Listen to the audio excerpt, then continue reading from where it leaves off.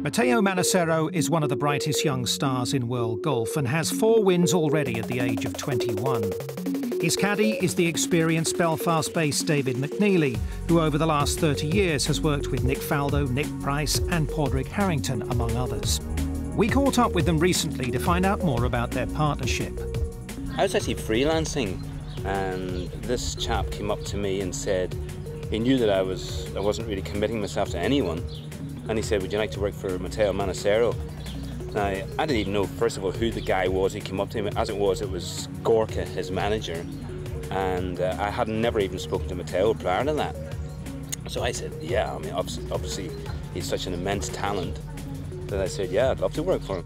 I remember Alberto was out there uh, on the golf course checking the pins and, and, and those things and, and they, they started speaking together and you know he, my coach saw Dave you know very dedicated to his job loving his job and, and, and you know a kind of a very friendly person even if there is quite a bit of a age difference but he's, he's a very very friendly guy uh, speaks a lot and you know those kind of things that I that I like on the golf course. So he said um, and I think he's the right guy the establishment of a strong bond is essential for any caddy player relationship to flourish. Finding the same wavelength and understanding what each other needs from the other is vital.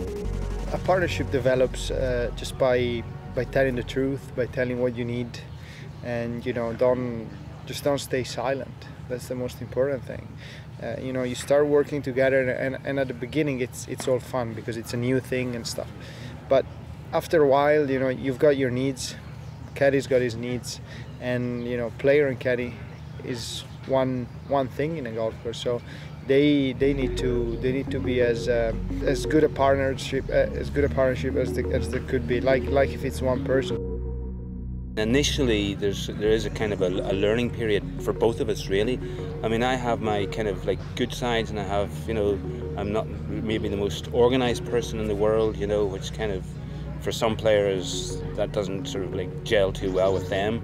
Matteo is very organised, you know, but uh, um, but he knows that I uh, that uh, I'm very I've got a lot of energy for the golf course for what's actually on the golf course, um, and uh, he knows that I've I know his game very well now, so he can trust me, and I think that's probably the biggest thing for a, for a caddy player relationship is that you develop a trust. He's got a big influence in me, so I, I really listen to him. That's why you know we, we work well together because uh, I can listen to him. I know he's, he's got something experienced and interesting to say, so I analyze it and you know I, I might change my mind. When a player and his caddy disagree over a shot, there's always a potential flashpoint. Fortunately for McNeilly, Matteo is pretty calm. I hadn't been working for him very long. We are in Malaysia, and the fifth hole uh, was a, a, quite a reasonably long par five and he had like 230 yards front off a downhill lie, and he's got a three wood out. Like Matteo's a very confident player, you know, but I, I, I, didn't say anything, but I didn't like this at all. I didn't like the idea of going for this, not with three wood off a downhill lie. So anyway, um, he, he's getting ready to go. I'm not saying anything, but he backs off the shot because a little gust of wind comes up. But anyway, I move in. That gives me my opportunity. I said, "Oh no, right, whoa, whoa." you know, I've been on tour for what, 30, 35 years now, and whenever I see this, I say no, no. I say no, you know, because unless you're 100% committed, you just don't. 95%, 96%, I'm just going on and on. I'm just like this here. I'm on a podium. I'm just going away. So eventually he just says, okay, got that. You've talked me out of the shot. Okay, so what's, what's the layup? I'm just going on and on and on. He says, okay, I've got all that too. What's the yardage to the water? I said, well, okay, it's 188. He says, what, seven iron? I said, well, seven iron, okay. Seven iron goes straight into the water.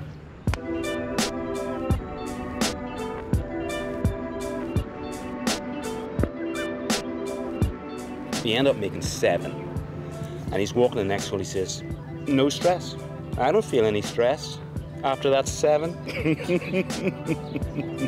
So far, it's been a great relationship with plenty more highs than lows. Interestingly, they both make a different choice when asked about their best bit of teamwork to date. McNeilly first. Well, I think once you get a win, and Singapore was um, it was a very hard, hard week, physically hard because of all the um, rain delays. It was hot. Um, you know, so mentally, both of us had to be very strong in that week. Um, and also too, he was he, he's he was coming through a period where you know he was you know he needed something, you know, and he was you could just see him. The confidence levels were starting to fragment, and so when it, he won in Singapore, it just was such a lift for both of us.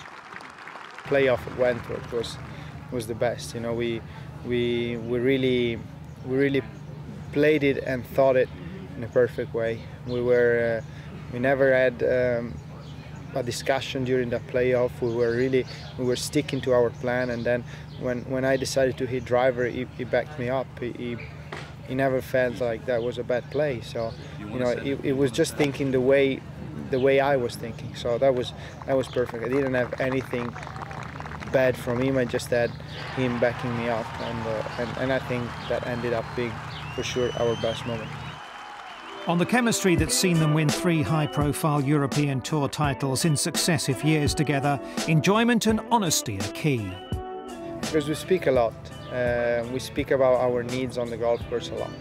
Uh, and that's that's the first thing, and I think that's the main thing. Uh, the second one is uh, we're, we're, very clear to each other. You know, we don't we don't tell lies. We we, we tell exactly what we what we what we want and what we need. And, and, and I tell him exactly what I need even if it's something that could hurt him. But uh, you know or, or, or, he does something that could hurt me you know but uh, I tell him. I tell him because in the end you know we want the same thing and we want to we want to perform well together. And uh, you know it's something that we do in favor to each other. I want to work for somebody who I can have fun with and somebody who can win a major and the reason why I want to work for Matteo Manassero is because I think I can, I know he can win a major, but let's find out if we're going to have fun. Well, over those these two and a half years, we definitely have fun, you know.